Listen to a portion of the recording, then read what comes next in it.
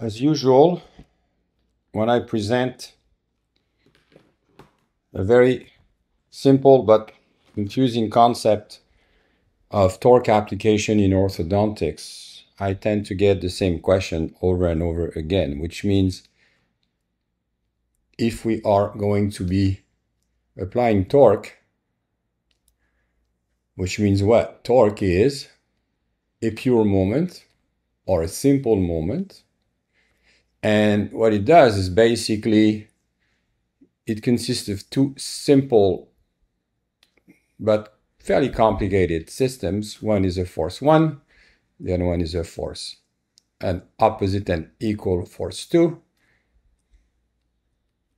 which is actually equals to minus F1. And if you draw a perpendicular between these two forces, D, you get a torquing moment or a pure moment or also called a force couple. And this force couple equals to the sum of the two moments created which is f1 by d over 2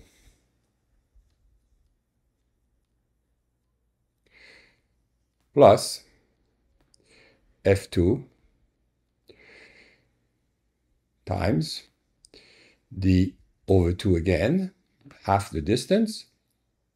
Say that's easy. Actually, the rotation is a clockwise moment.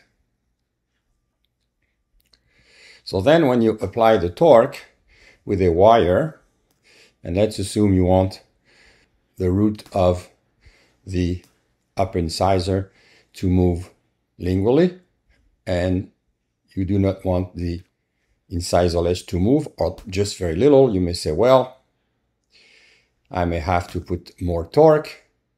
I will introduce a large rectangular wire like so. I will have to activate it, meaning I need to twist it to introduce it into the bracket. And what you will get once it's deactivated, you will get this kind of torque. So this is a force couple that is equals to an F time D type of solution. D being the distance inside the, the the wire and this is the torque that you will get, the force couple. So the big question is, where is the torque apply? Where is it apply? And usually I get the answer that it is at the bracket. In reality, it's independent of the point of application. Like you all know that a force in any direction will have what we call a point of application P. And depending on where you are placing the point of application, you will get vastly different movements of the object. In the case of the torque, let me explain something that is not actually very, I would say, intuitive, is the torque will be, for mathematical calculations, will be applied at the center of resistance of the tooth because there is bone and resistance. So you know that there is bone here and there is this center of resistance right here. Let's try to demonstrate this using just pure mathematics. So now I have my force couple right here, F1, and I got F2. So remember that the two forces are equal and opposite, but they have a different line of action, which are parallel to each other. So basically, there is no translation because F1 and F2 cancel each other in space, meaning the object submitted to this force system will not translate, but will instead rotate. So we say, okay, so maybe I could put a point here at a distance. Okay.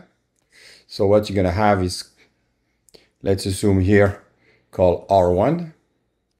This is called R2. So this is the point, let's say M.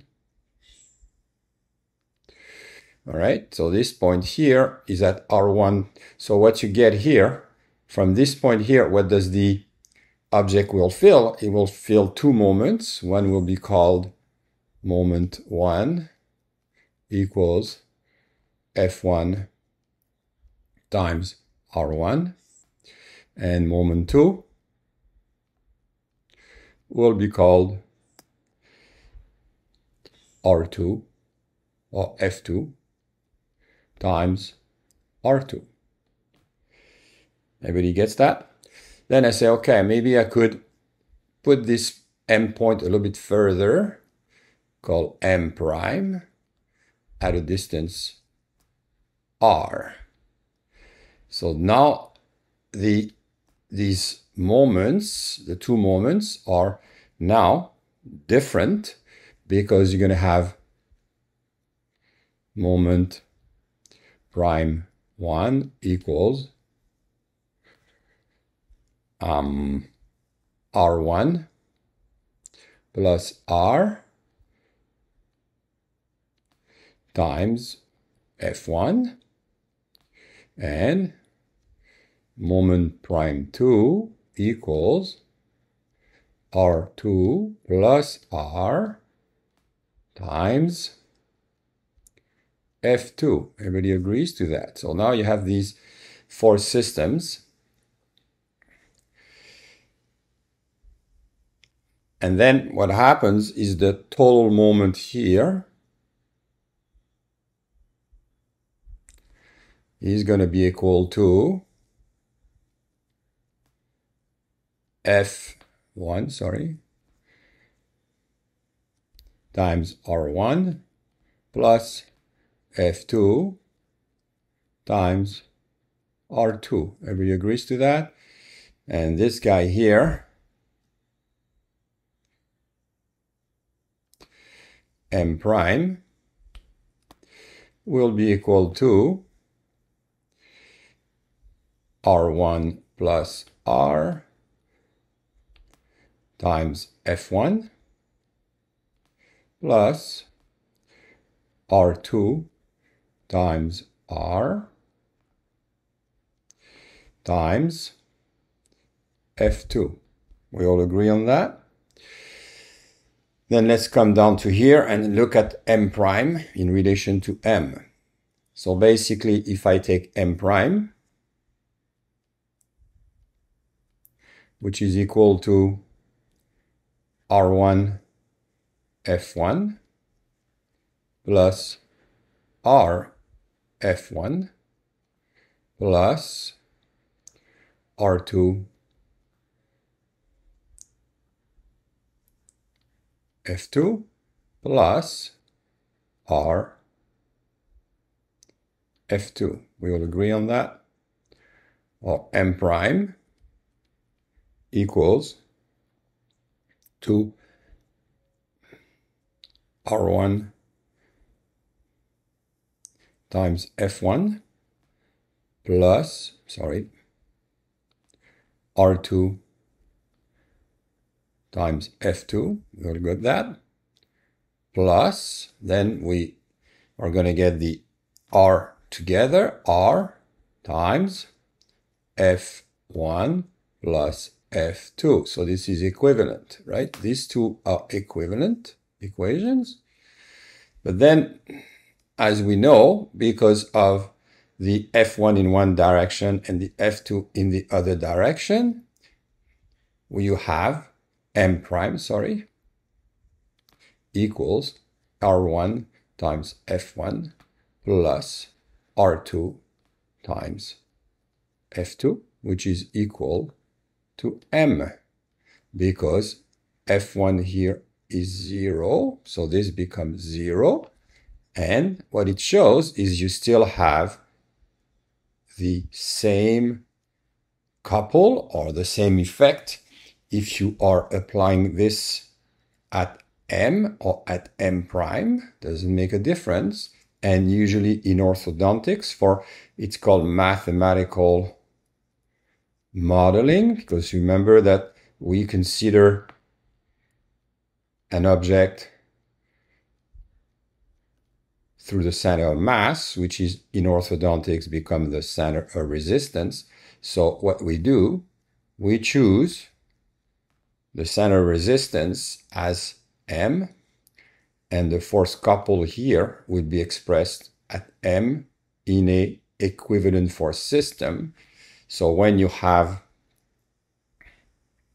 this type of a couple, for mathematical reasons in orthodontics, we are going to be taking this force couple and look at the effect on the tooth at CR, and you will notice that this force couple, if you go around CR, which is a pure rotation, so you have a pure rotation, obviously will give you this, okay, it will give you the distal or lingual force application to move the apex lingually, but it will also give you as a side effect a force here at the incisal edge or even at the bracket, depending how you want to calculate it, that will tend to bring the crown mesially. So that's why when you are applying lingual root torque on an incisor, you need a force system that is basically putting a large couple at the bracket. So you get this big couple. So you're going to be moving this tooth, but also